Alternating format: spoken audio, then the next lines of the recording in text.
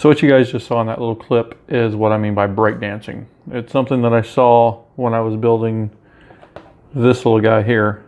Um, and it was it was a pain in the butt to try to nail down what was going on. And basically, it looked in the video when I, I went to Facebook for help, and everyone was like, "Your flight controller's in upside down," and all of that. So, um, like, it, it wasn't though. And the strange thing is, this you know, it, it it just wasn't. I've never, I've I've built I think seven or eight quads now. Every one of them I've always done the same way. The arrow on the flight controller goes forward, and you know, then you're fine. So yeah, it was just a, a weird thing. Um, I'm actually going to be building a uh, three-inch Hyperlite Tooth Fairy, and so I got the new flight controller in. It was one of the um, HGLRCs, the the stack. You know, it's got I think it's an F4 flight controller, four 28 amp ESCs, and you know a VTX, like a like a little stack.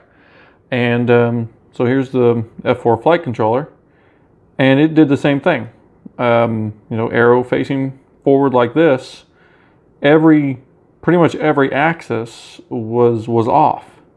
Um, I want to take you into the actual, you know, software into Betaflight and show you what I mean by, by off. So give me a second. We're going to cut over to that and I'll give you a, a better idea of what, what I'm trying to get at.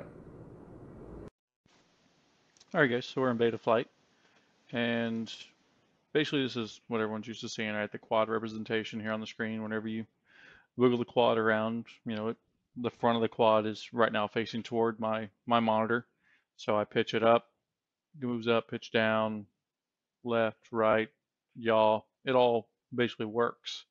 What happened is when I built this quad for the first time, I went into the configuration and I always just turn off the accelerometer because you know I just don't I don't use it. There's no reason for it. Um, I don't fly in any sort of you know sort of modes that require it, so I just turn it off to say to save CPU cycles. Uh, but as you can tell here, my gyro alignment, accelerometer alignment, and magnetometer or mag alignment, I think it's magnetometer. Um, basically, I had to reverse those. Um, the reason why, um, honestly, honestly, I can't say the reason why. Um, I would expect this flight controller, like every other flight controller I get, um, to come out where if the arrow is facing forward, that's forward, you know, and all the corresponding axes, you know, work as expected.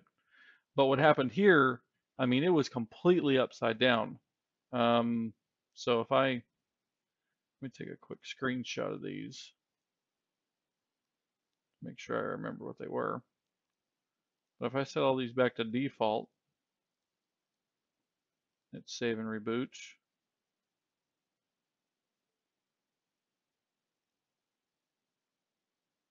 I mean, right now the quad is not facing toward the monitor. And if I pitch forward uh, so right now this is, you know, roll left. It's basically just everything was was reversed, right? So if I can give one, you know, piece of advice, it's don't turn your accelerometer off until you verify the axes. Uh, it's the first time it happened to me, and I couldn't figure it out to save my life. It was it was completely strange.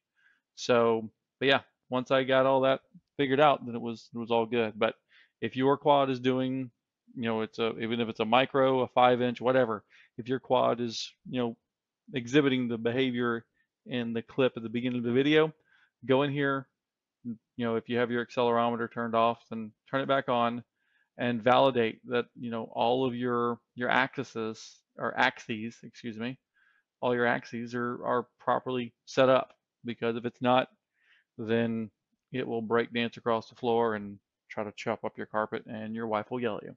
So, so yeah, hopefully that helps. And uh, if anyone's experiencing those problems, then uh, yeah, give that a shot. So, yeah.